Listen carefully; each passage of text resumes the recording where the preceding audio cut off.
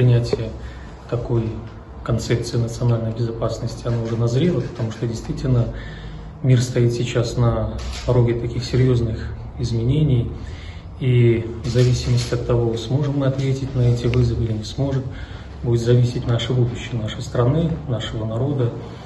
И ну, ни для кого не секрет, что действительно можно сказать, что мы сейчас живем в условиях не только конкуренции, но определенной борьбы и политической, и идеологической, даже военной, но в том числе и духовной. Поэтому здесь мы сегодня собрались для того, чтобы обсудить концепцию национальной безопасности и выслушать в том числе и представителей Белорусской Православной Церкви и представителей других традиционных конфессий Республики Беларусь. Потому что мы знаем, что история нашего Отечества, она была очень-очень простой, и всегда из сложных ситуаций, а их было очень много, мы выходили благодаря а, тем духовным традициям, тем ценностям, которые сформировало в первую очередь, конечно, христианство. И вот эти вот ценности, ценности общества, любого общества, но в данном случае мы говорим о нашем, о белорусском обществе,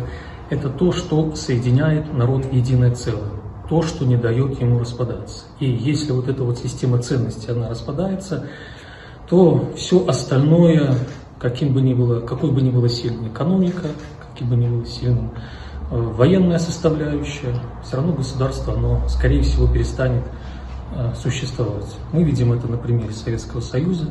Государство было сильное внешне, но внутренне оно, так скажем, разложилось, несмотря на то, что были люди, были силы, которые работали на, на разрушение. Поэтому мы сейчас и говорим о том, чтобы в этой концепции так как можно более так ярко, подчеркнуто говорилось о традиционных ценностях, которые присущи именно нашему народу. Потому что есть общечеловеческие ценности, можно и нужно про их говорить, но есть ценности, которые в первую очередь влияли на историю, на самосознание, нашего народа. И вот проговорить эти ценности, прописать эти ценности и в том числе продумать, как можно эти ценности не просто защитить, их защищать мало, но чтобы эти ценности вошли в плоть и кровь нашего народа и в первую очередь молодежи. Для этого и составляется концепция, чтобы такие примеры, такие прецеденты, которые мы видим в соседних странах, они ни в коем случае не повторились в нашей стране. Потому что то, что происходит на Украине, это в первую очередь забвение своей истории, своей традиции, своей культуры и своих ценностей. Потому что мы видим, что сейчас там навязывают ценности абсолютно чуждые украинскому народу.